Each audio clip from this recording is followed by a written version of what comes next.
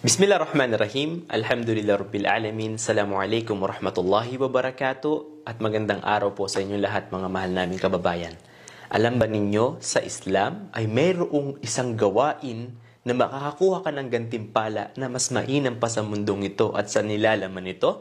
Alam natin na karamihan sa mga tao o halos lahat ay nagpupursigi upang sila ay yumaman, upang sila ay maging tanyag o sikat sa mundong ito. At gusto nila, karamihan sa atin ay makuha ang lahat ng yaman sa mundong ito.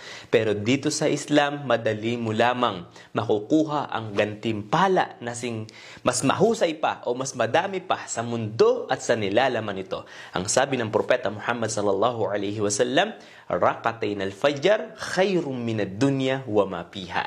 Dalawang rak'ah na sunnah before fajr khairum min ad-dunya mas mabuti pa sa mundo, wa mapiha at sa nilalaman nito. So, mashallah, tabarakallah, dito sa Islam, ituturo sa iyo na makakakuha ka ng gantimpala na mas mainam pa sa mundong ito at sa nilalaman nito ay yung pagtataguyod mo ng salatul fajr o sunna ng salatul fajr before fajr. Ha?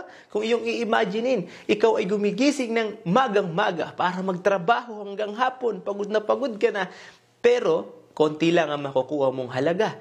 Pero kung ikaw ay magsasagawa o itataguyod mo ang dalawang raka ng Salatul Fajr, dalawa ang mapapakinabangan mo. Napakalaking gantimpala at hindi hindi mo maiiwanan ng Salatul Fajr. Kaya itong gawain ito ay payo ko una sa aking sarili na aking dapat maisagawa at kayo din mga kapatid. Sikapin natin, pursigihin natin na makapagsagawa ng dalawang sunnah before Salatul Fajr at nang hindi natin maiwanan ng Salatul Fajr at isang gantimpala dito ay napaka napakalaki. Kaya ito yung ating asamin.